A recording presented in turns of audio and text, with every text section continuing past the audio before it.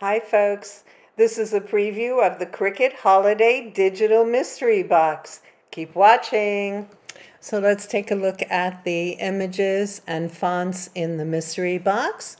The first one we have is Kim Byers, Leaves, Lattes, and Mistletoe. These are super cute. We have Thanksgiving and fall. We have Christmas, Halloween. Super nice. I love this one, Raising the Cutest Pumpkins in the Patch.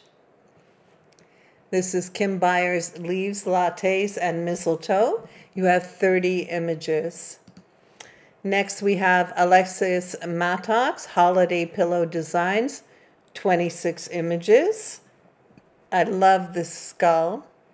Hello, Fall. Have a holly jolly Christmas. These are all super nice. Look at the snowflake, wonderful. Our third image set is DJ Inkers, Celebrate All Year Long. It includes 26 images.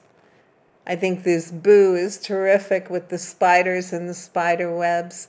And I love the haunted house. The Easter banner is really cute too. Just adorable. And last but not least, we have 10 fonts.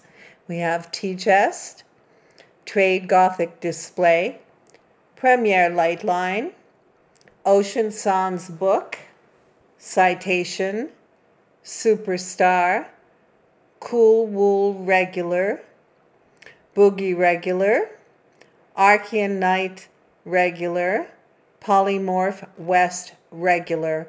I'll post a screenshot in the group so you have a list of the fonts that are included if you need them.